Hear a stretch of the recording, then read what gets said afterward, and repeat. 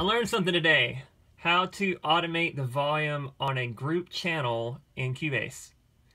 I assumed it would be the same as a any audio track or MIDI track. It's not. But I'll show you the difference. All right, so on, uh, say this MIDI track right here, if I just click the read automation, and come down here, show automation, creates an automation lane.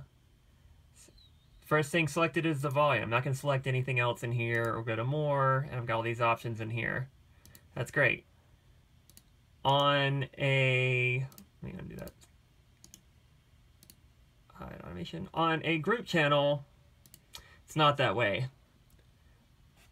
Oops, went up. All right. So on a group channel, if you click read automation, and you come to show automation, creates an automation lane right here. First thing selected is mute, not volume.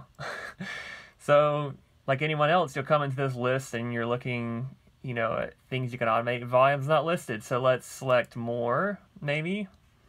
Whoop, way over here. All right, and then volume. Okay, cool. That's the one I want.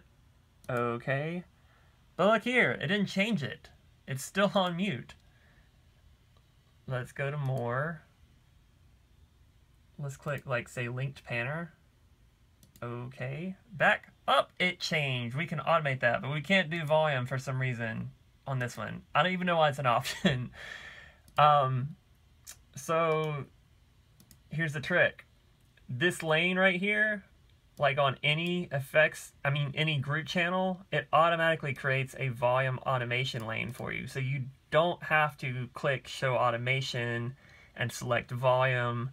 Um, you just have to come to the track, select it, click read automation, and then right here, this is the volume automation lane. As you can see by the volume going up and down as I'm moving the cursor. Woo!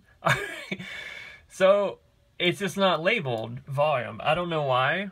Uh, it's a bit confusing. It's once you once you understand it, it's a lot quicker. It's awesome, but it's just not labeled, and it's different from the uh, regular audio track or MIDI track.